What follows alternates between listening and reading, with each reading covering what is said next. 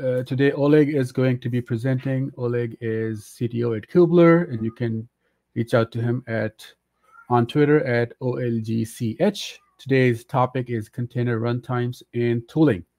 Before we get started, um, just a couple of housekeeping items. We have a channel on slack.kubernetes.io. That's hashtag meetup-dc. So you can find us there um, for topics and discussion, or if you want to present, let us know. We're available on Slack. Um, we also have a community page on community.cncf.io slash Washington-DC. Um, you can find the past events, recordings, and other material there. You can also sign up for events on the community page um, to get notifications for any future announcements. And we also have a YouTube channel where we upload all the recordings, so you can watch these later. Um, and a quick announcement that Kubernetes Community Days DC uh, has been scheduled for September 15th. That's going to be Thursday later this year. It's going to be an in-person event um, at the Red Cross DC. So we will have more details as, um, you know, we have uh, um, as you know as we work through the the some of the stuff there. So look forward um, for that. We will have you know uh, we will ask for proposals and presentations later. Um, and let me know if you want to help out or connect and present on that event as well. Um, so with that, I am going to hand it over to um, Oleg to get us started. Oleg?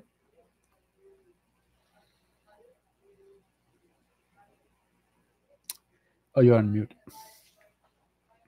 Oh, I'm sorry. Yes, thank you.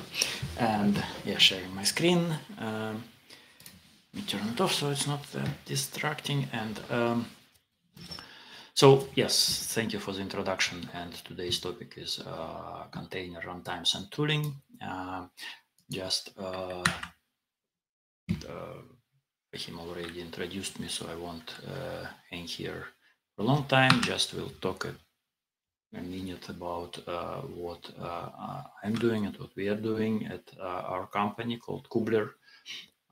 so, it's Kublr is essentially a tool that allows you to manage Kubernetes clusters, uh, create, provision, and manage Kubernetes clusters across different clouds, environments, uh, to make sure that you can centrally uh, monitor, collect logs, uh, audit them. So essentially to provide a very short time to market for enterprise Kubernetes implementations.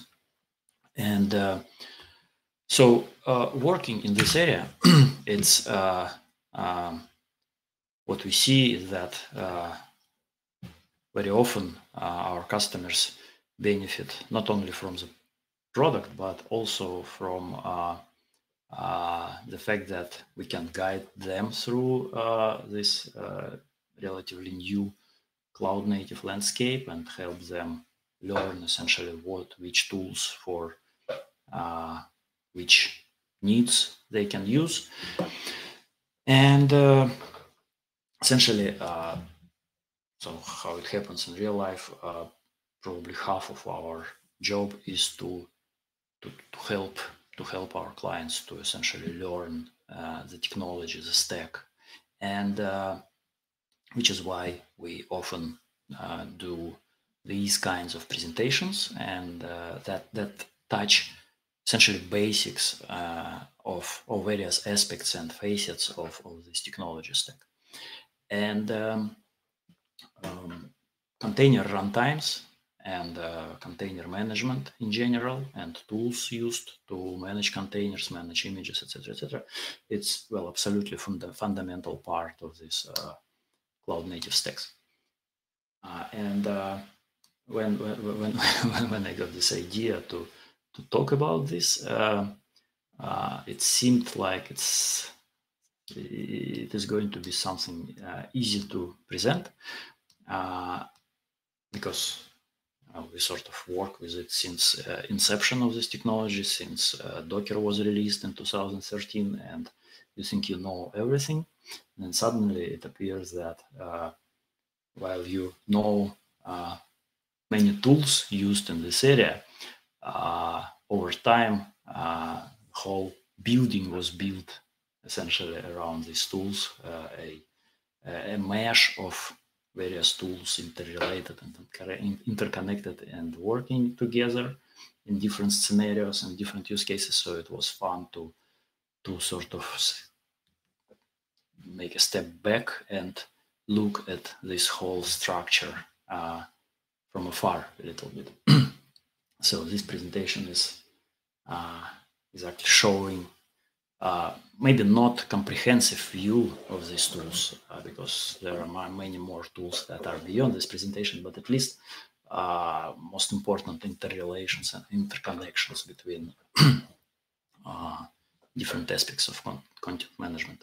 And I want to start with a little bit of history uh, because it may be important to understand how this whole building was was growing over time uh, mainly because uh, this concept of container management, even though containers uh, uh, were there even before Docker was released as an open source, uh, LXC technologies technology essentially introduced Linux containers, C groups, and um, namespaces were introduced in Linux long before. uh, Docker was released, they weren't as popular uh, or they weren't, let's call it practical uh, at that time.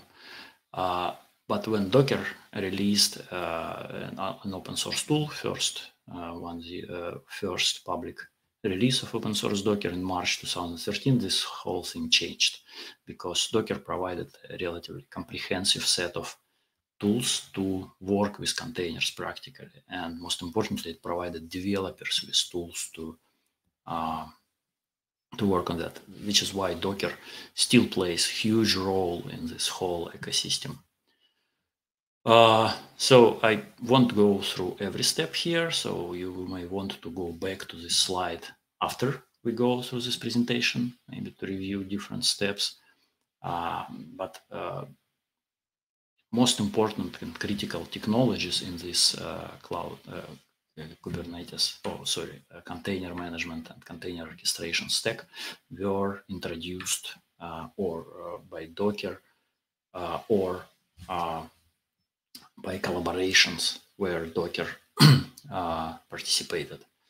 not all of them, of course, but, but, a lot. The the um, the effect was very critical.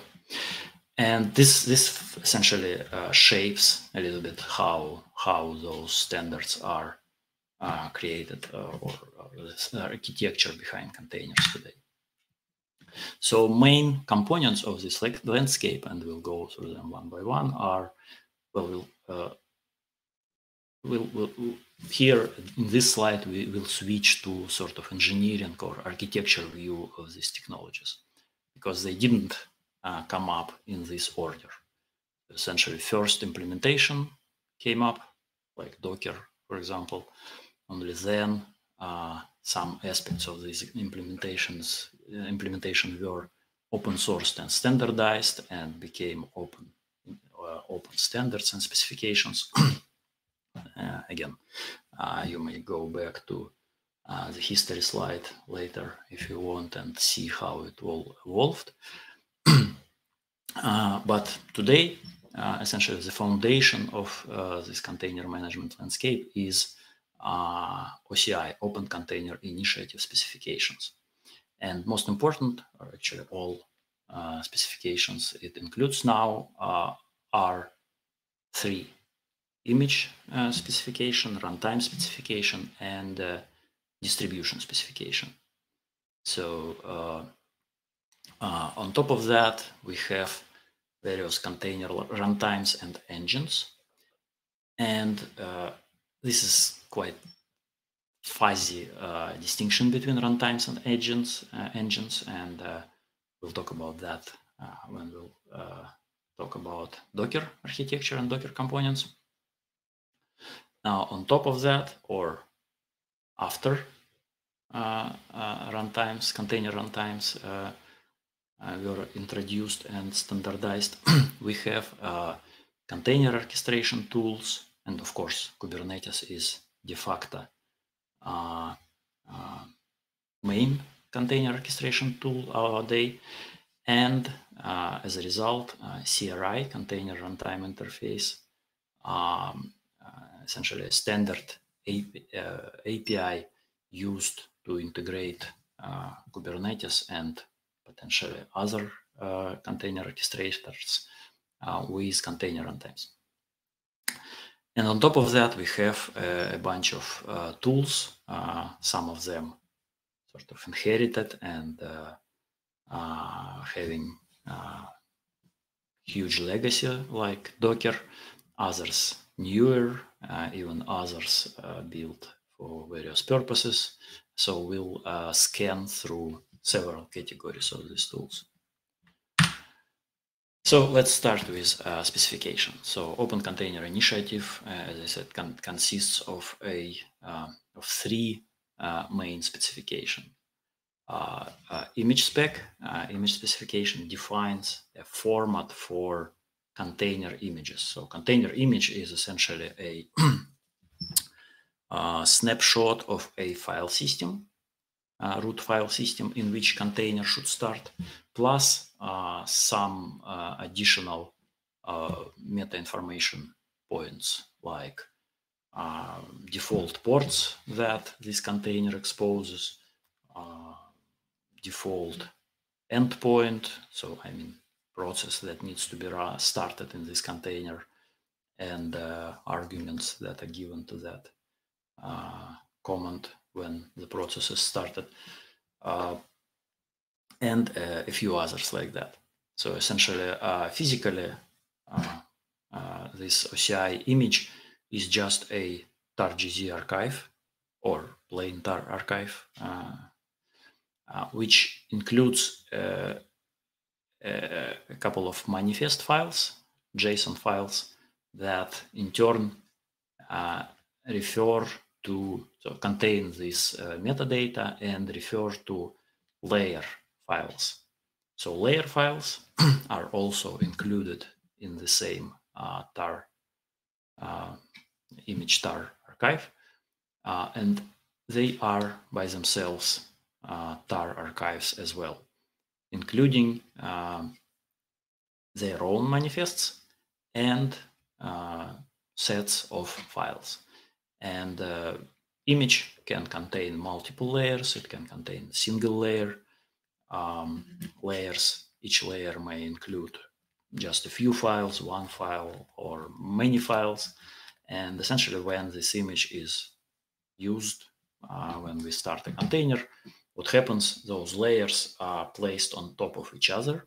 And uh, OCI image specification describes uh, in particular, uh, so how uh, those layers are merged because it's easy to merge when you add files and uh, override files like uh, some next layer contains some of the files in, in the underlying layers with the same name but different content for example uh, but it also describes how you can mask files like top layer can uh, remove sort of files that were introduced on the lower layer other than that, there, there, is nothing uh, uh, magic about this OCI image spec, just a standard on packaging uh, rootfs for container uh, for container images plus some container image meta information.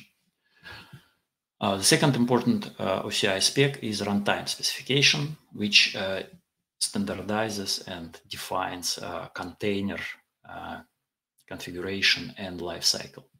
So container configuration is again a, a, just a JSON file, uh, which includes um, first and foremost uh, the image reference, so the image out of which this container is created, uh, references to locations of uh, uh, top runtime image for this container, and uh, a bunch of other meta information like which directories need to be mapped uh, for that container when it runs, etc., uh, etc. Uh, and uh, another thing that OCI runtime spec provides is a container lifecycle. So essentially, what stages the container goes through when it is created. and here you can see two views of this uh, container lifecycle. The first one, so is essentially the, the phases and uh, hooks uh, that container runtime can use. So, uh, and container can use. Uh, essentially, container is first created, uh, and it's just a representation of this container in the local file system. it's um, an image reference plus top a directory which contains top layer of the root file system. Then it gets started, in which case you have a process actually running for that container. Uh, before start, pre-start hook can be called, and uh, this is where often container runtime initializes uh, network uh, stack, etc., etc. Uh, then you can stop container, restart it again, uh, or delete it and another view essentially describes different ter terms used when you talk about containers. So we start with an image. Then when we talk about container, we often talk about container which is just created but not actually running. But and when container is actually running, we are talking about uh, process running within that container. Now, Docker and Containerd is uh, the oldest, uh, as we talked about that already, uh, container uh, runtime implementation. Um, so Docker went through several stages, and uh, this architecture uh, is essentially what it came to over time. So initially, Docker was more or less monolithic tool that provided uh, container management uh, and uh, image management, etc., etc. but at some point, it separated so-called runtime components, and most importantly, so most basic and baseline component is so-called libcontainer, which when uh, OCI was uh, initialized uh, when OCI uh, was um, created, essentially, uh, Open Container Initiative was created. So essentially, libcontainer became a part of OCI. It's a reference implementation of OCI standard, as well as runc, so-called runc. So what's uh, libcontainer and runc? Libcontainer is, uh, as it uh, as you can see from this. The name is a library essentially, so which allows you to manage processes inside containers. So if you, if you write, uh, it, it's a Go code library.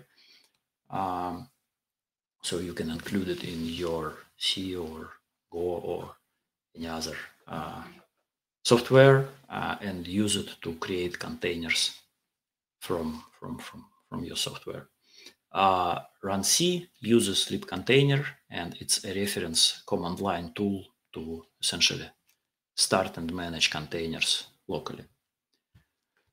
Uh, and again, as I said, they are both a part of OCI, run, uh, OCI runtime specification. They both are uh, at the same time reference implementations and upstream container management implementations for many container management tools. So next layer is uh, containerd. Essentially, while runc is a command line tool, you can use runc from your command line to start a container. You cannot use it to, for example, uh, uh, pull or push image or um, uh, do some higher level operations uh, with it. You cannot list containers with runc because runc is a tool to run a single specific container. So Containerd provides all those higher level uh, uh, capabilities. Uh, it was also open sourced at some point by Docker and became a separate project. So became a part of every Docker uh, package out there. So essentially, when we are today, when we are talking about Docker, we really are talking about uh, Docker wrapper, which uses containerd under the hood. So containerd is uh, a package uh, which itself includes a service in, in, in, in on, on, different Linux operating systems. It uh, installs a service which uh, monitors different containers and provides essentially an API for a certain command line tool uh, to manage those containers and images, etc., etc. Now, Moby is another open source project uh, that was open sourced by Docker. And this is where it becomes uh, a bit confusing, really, because is, is Moby, for example, different from Docker C, Docker CE? Uh, in fact, it is, sort of. Uh, and is, is Moby different from Containerd? It's definitely different, but so essentially, when we are talking about Moby, uh, Moby can be set up separately, uh, installed separately on your system, and some uh, some distributions include Moby instead of Docker in their repository. And Moby essentially provides the same functionality as Docker CE. Now, uh, relation between Moby and Docker CE is similar to uh, former relation between uh, Fedora and uh, CentOS, for example. So Fedora is a uh, R&D open source or was R&D open source uh, quickly developed version of uh, CentOS and Red Hat, and the same uh, purpose. Um, so Moby has the same purpose. So it's an open source R&D development project which Docker and open source community use as upstream for Docker CE and other tools. And now on top of that, we have Docker CE or Docker EE, Docker Enterprise Edition, or Docker Desktop, so a number of commercial tools that Docker releases. Um, another container implementation is CRI-O. So CRI-O uh, appeared uh, a bit later. Uh, it was de developed by Red Hat and it was developed uh, after Kubernetes was released actually and after Kubernetes introduced this common uh, CRI API for integration between Kubernetes and Docker.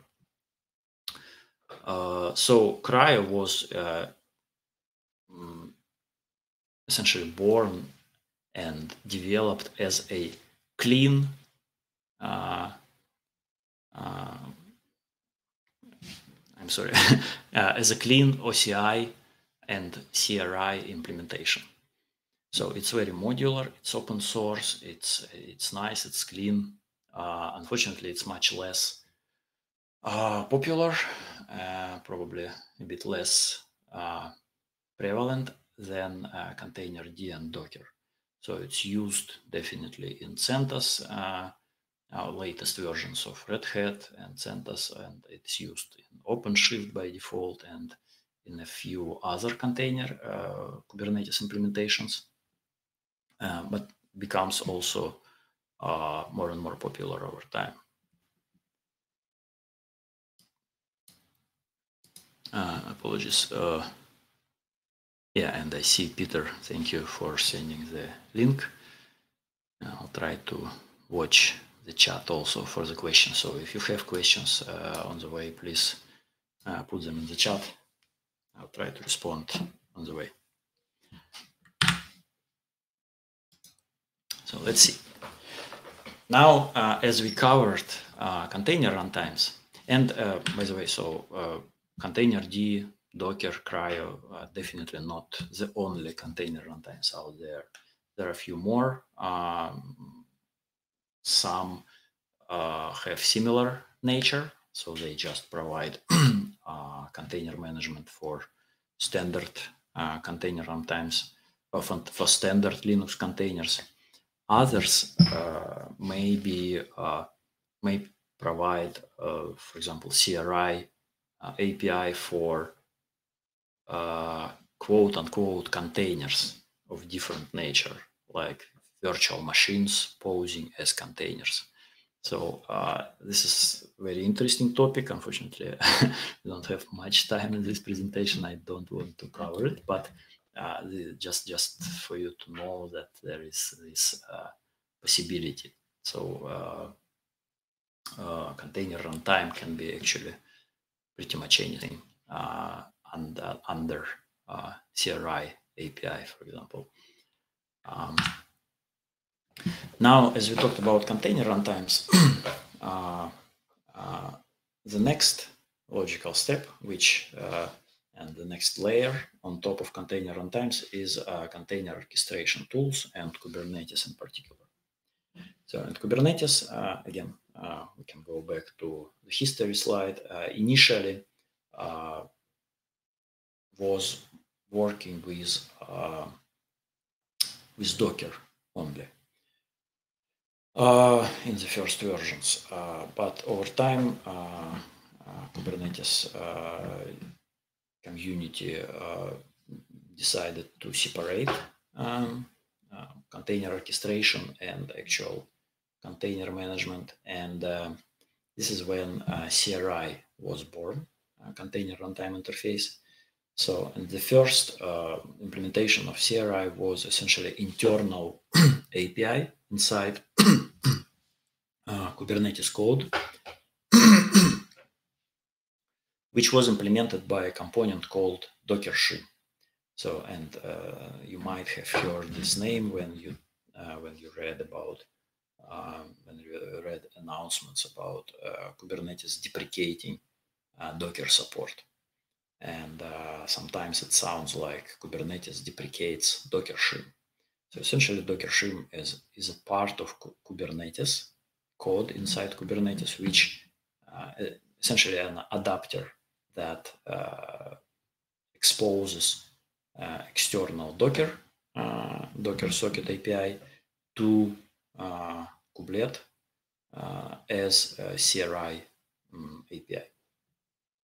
This is still supported in, in, in, Kubernetes in at least in the version 122. I think they are removing it in 123. um, now, over time, uh, as containerd was separated from uh, Docker and uh, standardization were essentially uh, um, progress, um, uh, Kubernetes introduced another adapter called CRI containerd, internal piece, uh, internal component again, which again exposed CRI to Kubelet, but worked with containerd instead of Docker. And you remember that containerd in more or less modern Docker versions is under the hood. so this is why this picture is shown like that. Uh, and again, over time, uh, this uh, component was removed from Kubernetes and instead uh, a CRI plugin became a standard part of Containerd. So essentially now when you install a Containerd, uh, there is a CRI plugin inside so that Containerd exposes CRI API directly and Kubernetes can talk to Containerd directly. So this is more or less modern uh, architecture, modern setup for Kubernetes, which uses uh, uh, containerd. and it's exactly the same as with CRI-O, because CRI-O, as you remember, is a clean implementation of uh, OCI and CRI. So by definition, it exposes CRI interface, which Kubernetes can use. Uh, now, just uh, for that not to be just a lecture, uh, I can show you how in practice uh, working with different Kubernetes runtimes and tool sets look like. And uh, we'll also scan through a few other tools that can be used uh, to work with containers. Uh, but before uh, going there, so let me explain what I have here in terms of demo setup. So um, I created a simple cluster that I would Kubernetes cluster, uh, and I don't really need Kubernetes cluster per se. Uh, what I wanted to have with that Kubernetes cluster is to have uh, two different nodes where Docker and uh, containerd are set up as the main uh, container runtimes. And uh, for me, it was easier to just create a cluster. Uh, this cluster is pretty much standard cluster with a single master and a single worker node. Uh, Kublr by default creates this cluster with Docker runtime. So uh, we have master node configured with Docker uh, and for worker nodes, I told Kublr that it should configure it with containerd instead of Docker. And that's how I will I will be able to show you how you can work with Docker and containerd directly. and as a side effect of this, you can see now that for Kubernetes, it's not really very important which uh, container runtime you are using as long as uh, it supports CRI. Uh, you can even run different container runtimes on different nodes in your cluster, which may be very useful, uh, for example, if you are uh, using some complex architectures like uh, Kubernetes clusters where you have worker nodes with GPU. So GPU to, to, to provide access to NVIDIA GPU, for example, NVIDIA provides a special modified uh, uh, Docker runtime, so a variant of runC that uh, passes through um, NVIDIA devices and allows containers, container containerized processes to use them. So uh, if you want to use your NVIDIA hardware in your Kubernetes cluster, you would have to configure uh, uh, container runtime a little bit differently on those nodes where you have uh, GPU nodes. And it's very good that Kubernetes doesn't really care whether you, you may have, for example, CRI-O on master nodes because it's most stable and clean, for example, uh, and you may have uh, Docker with NVIDIA modification uh, on your NVIDIA worker group. Uh, and then you may have uh, standard containerd on some other uh, node group because the operating system you are using there, for example, only supports containerd. Just, just imagining things. okay, now uh, going to our command line. So uh, I configured it here. check that we do have access to this uh, to this cluster. I can run. I'm using a uh, kubectl plugin uh, called Node Shell to actually gain access to uh, the node. So what Node Shell does, it's essentially starts a uh, container we uh, on, on, on a specified node which uh, goes out of uh, the containerized jail which is why it's called nsenter uh, and allows you to sort of SSH into the node which may be very useful uh, from time to time now let me go to this is my master where I have Docker configured as a runtime. And uh, this is my worker node where I have uh, um, where I have a containerd configured. So uh, when we are talking about uh, Docker tools, so Docker is probably the most comprehensive of all the tools uh, we are going to talk about today. So it includes, uh, and for a good reason, because it, it, it, it, was the first essentially on the market, and it's a single so sort of huge uh, monolith of uh, container and image management tools. With Docker, uh, let's see how many subcommands it includes, and some of them are sort of uh, are duplicating, like rm, for example, uh, is a remove container command, rmi is a remove image command, uh, and they uh, it's it's uh, a good practice to instead use subcommand of a corresponding uh, top level command, like instead of docker rm, use docker container rm, containers rm and instead of Docker RMI, you should use Docker images RM, uh, clearly specifying what object you are working with in context of Docker. Uh, so with uh, these Docker commands, you can build images, for example, and uh, this is uh, very important functionality. This is why Docker became so important step in container uh, adoption because it made it very easy for developers to, to create new container images. So uh, Docker image build uses a Docker file, so-called uh, Docker file, which essentially defines image layers through a set of commands. So the first command is usually from, and then you give an image name, which will become base image for this uh, image you are building. There may be add commands that include new files uh, from your local file, system into the image you are building. There may be run commands which run certain command uh, inside of the image uh, you are building and uh, modify it. And each of these commands create a new image layer.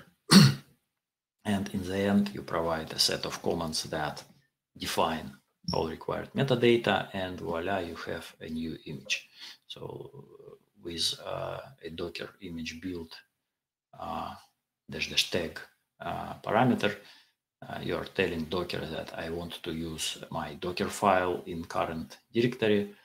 And as a result of this docker file uh, a new image will be built which will be tagged as my image v10 uh, you can check images that you have locally.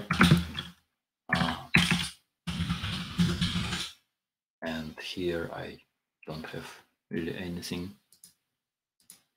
which is strange. Let me see.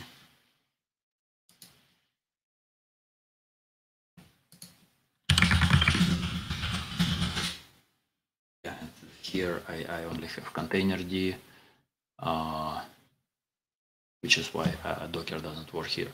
But let's let's let's just do uh, the images. So I can uh, download an image uh, using pull command.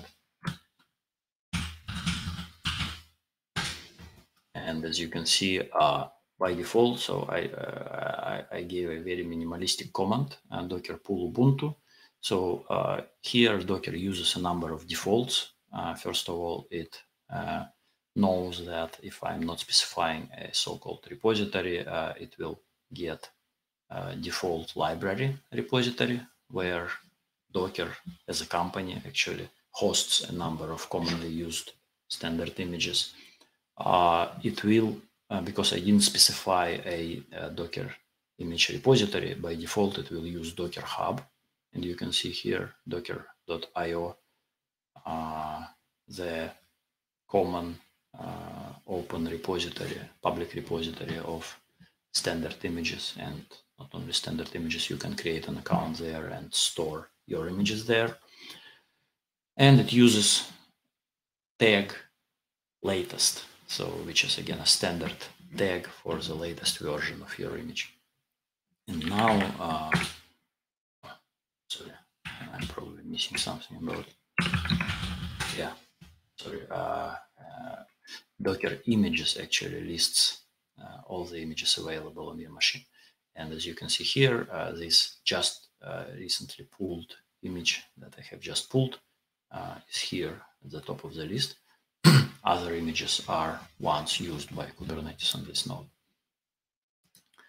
Um, after you build your own image, you can tag it and uh, retag it. So you, you, may have multiple images tagged with, uh, or the same image tagged by multiple tags.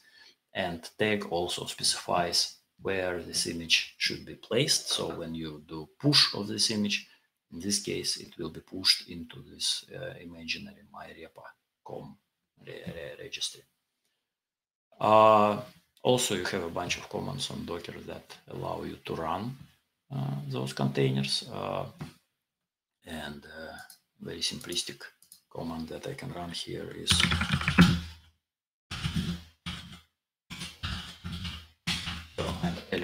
that I want to run a container using this Ubuntu image, which I have just downloaded, and I ask it to run a command or process with echo binary parameter high.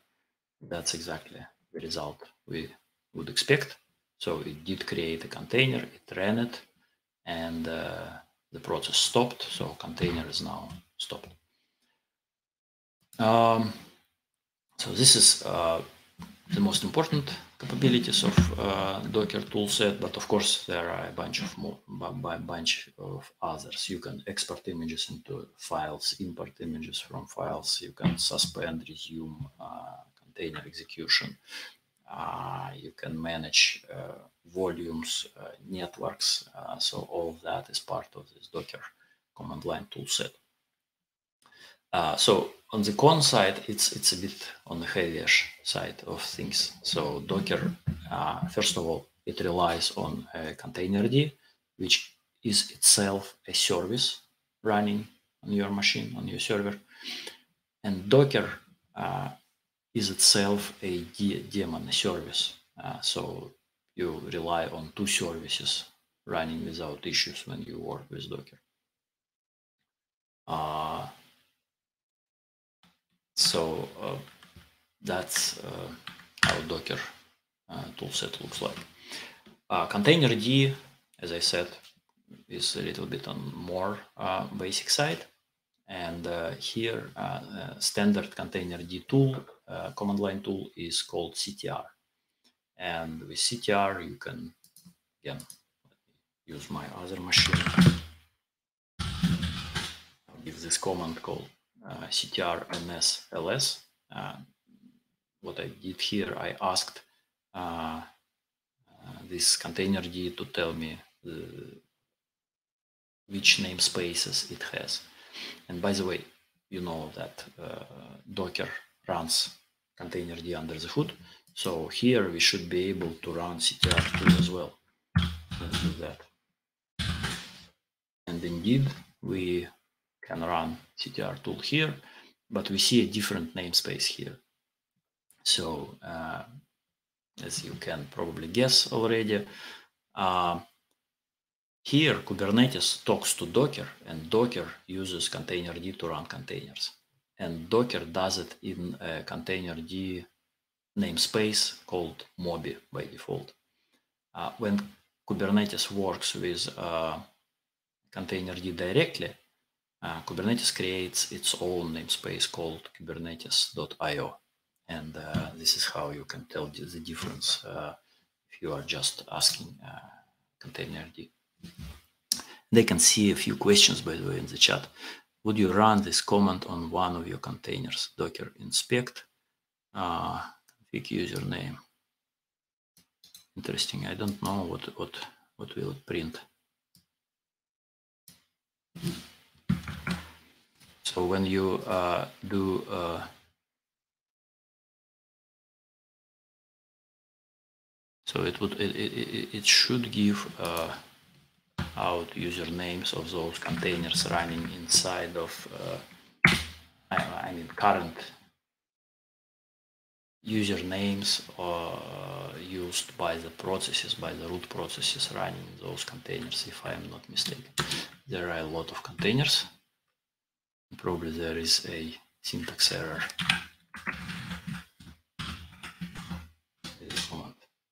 Don't really remember how correctly. Uh, how to correctly run it. But you are right. Uh, uh, in many cases, you don't want to. Uh, so it's a good practice to make sure that your containers are configured in such a way that processes inside run as non-root processes.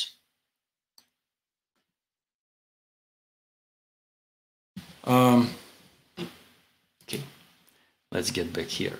So uh, when it comes to uh, working working with images, it's it's very similar to how we did that with Docker. So it also has a subcommand images. So you can pull and push images, so it can work with registries. Uh, remove images uh, loaded locally. Unlike Docker, it has a nice uh, function called mount and mount image. So you can actually mount image uh, in, in some point in, in your file system and inspect files there, which, which may be useful from time to time. Uh, Docker, as far as I remember, doesn't have this command directly, unless I'm badly mistaken.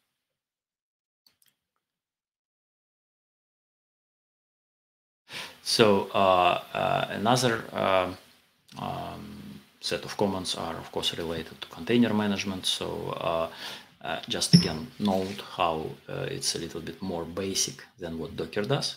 When, when, when you are working with Docker, you are only dealing with containers. Now, containerd uh, deals with two types of objects here. So first of all, it's container. and container it's, is a kind of uh, prepared uh, container for your processes. So it's not running uh, itself when, when we are in context of containerd. So when you create a container, it's not yet running. It's just uh, uh, essentially allocates a directory where container uh, rootfs um, will be mapped. and to start that container, you need to create a task object. So uh, as it's shown here, uh, when you create a new task in that container, you actually get a process process running in that container. Uh, and you can create multiple tasks uh, in your container. Um, and when all the tasks are complete, well, you can remove your container. So which, which is probably why it's called container. So uh, there is another uh, tool that makes uh, managing containerd containers a little bit easier called nerdctl. you can look it up. So it, it tries to mimic Docker a little bit more. Uh, so makes it a little bit more convenient, although uh, the mapping is not exact, it's not one-to-one. -one.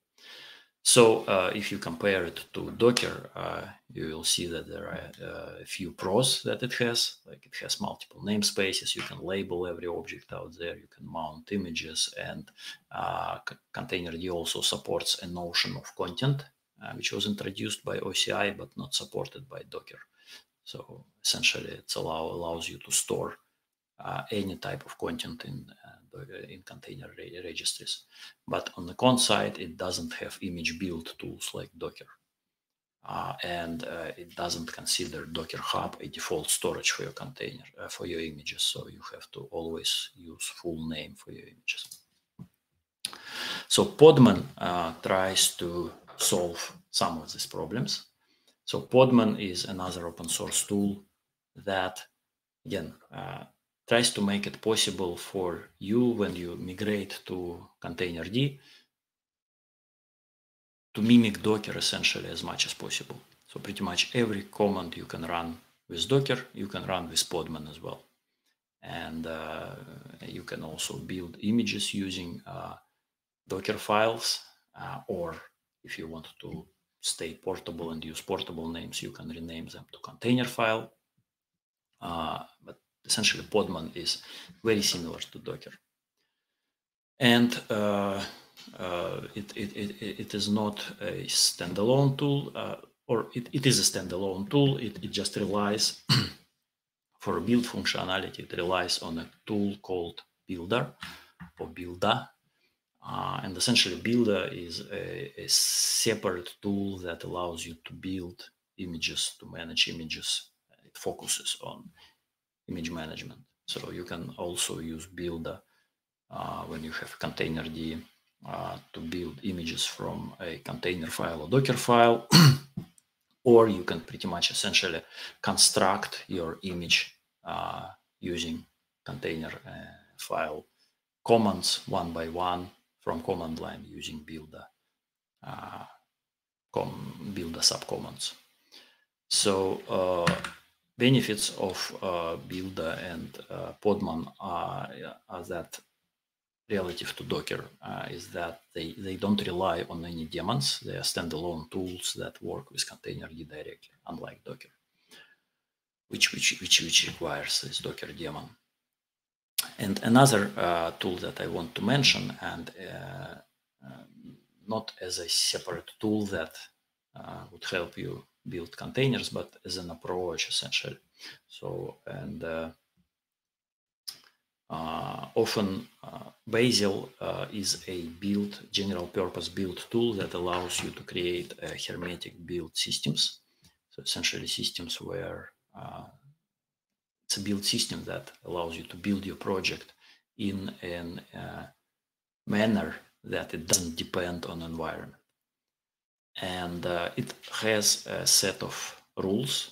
Uh, so Bazel relies on a concept of rules, pluggable rules that you can define yourself. So, uh, or use existing ones. So it has a set of rules for working with Docker containers that allow you to manage uh, essentially not Docker images uh, in, in, in the Bazel manner, essentially. You can define your external uh, dependencies, base container, base images in your workspace Bazel file, uh, specifying exact digests and tags uh, to make sure that it's exactly the same uh, base image uh, all the time. Then you define your build process, which essentially which is essentially a set of goals that rely on each other. And uh, at some point, when you have your service binary build. uh, here it's designated as a SVC goal. Uh, you can build a tar uh, of your files that you can include as a layer into your container image and uh, or you can include multiple layers you can include separate uh, separate files there and as a result you will get exactly same image uh, if you give it exactly the same source files this is uh, a big deal really for uh, uh, for build efficiency especially in very large monorepo projects although this is not a specialized uh, Docker image building tool, I, I, I, just wanted to point at uh, this special category of build tools, which may be important for larger projects. So just a summary view of those tools we looked through uh, that probably help uh, get an impression of how uh, those tools relate to each other and what they're focusing on so hopefully it is helpful. Uh, I also included in this presentation and will publish it uh, a bunch of links to the projects mentioned and the tools mentioned and some some of the blogs uh, that give a very good summary uh, of um, the space. And I will just, so I hope this is helpful. I think now we are open to questions if there are any. Awesome. Thank you so much, Oleg. Um, I don't see any uh, big questions. There was some. Uh, uh, Peter was saying that we should the friends don't let friends uh, run containers as root. Yeah, and that's, that's a good comment. Yeah, um, it's, it, it's just the easiest way to log in on this machine. Yeah, right. yes.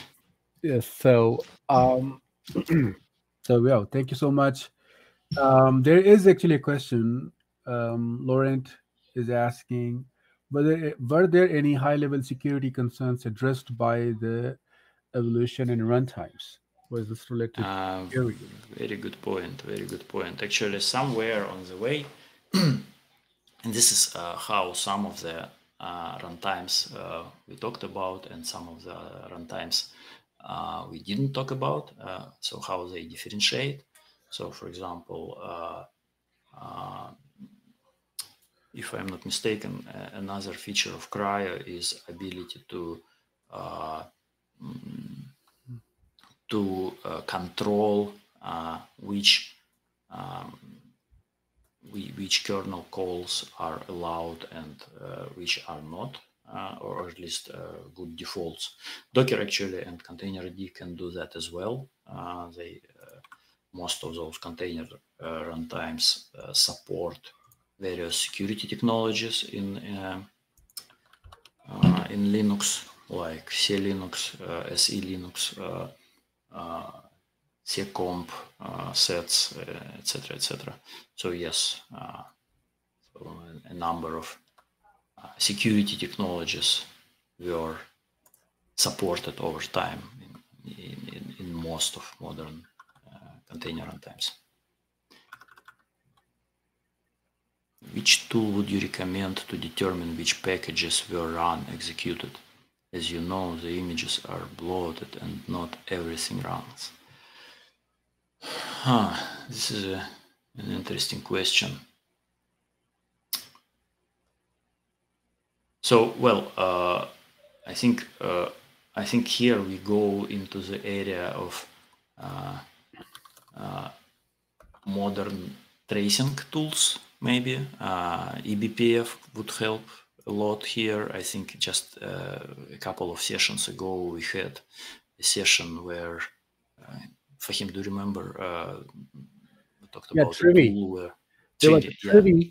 which scans all of the images. Then there is Falco, which mm-hmm. gives some runtime intelligence into what is running, what kind of system calls are being passed. Uh, being passed. Um, the other tools, I think uh, it's harder to say like which tool gives you exactly what is being touched. More like what system calls are being executed. Falco can give you that list uh, yeah. open source tool from Sysdig. And then also, yeah, mm-hmm. please. Yeah. Anchore, somebody's sharing something from Anchore. SBOM of containers. I think uh, a better approach would be to uh, construct your images uh, so that they don't have any uh, extra files. And, and Bazel uh, would be a great tool to look at uh, if you if you are looking at this approach again because here you you are literally constructing assembling this image file one, one file after the other of course you can do that in uh, using any other tool like if you if you work with Buildah or even docker uh, uh, docker files and docker you can say from scratch meaning that your first layer just doesn't contain any files. And then you would add only those files you need in that image. Right. There's a good good tool that is recommended by Peter is Syft. Mm-hmm. If you want to look through the list of all the um, packages into but that's like the fundamental baseline, like Oleg said, is that have the container as smallest as possible. Um, all right, I think we are four minutes over. Thank you, everybody, for joining. This was um, really helpful. I really uh, enjoyed and learned a few bits as well. Uh, hope, to, hope to see you guys in a couple of weeks. We have one talk uh, potentially from Portainer coming up, and then another one from Cockroach uh, as well. So look forward to those invites, and um, see you guys in a couple of weeks. Thank you so much. Thank you. Thank you for joining. See you.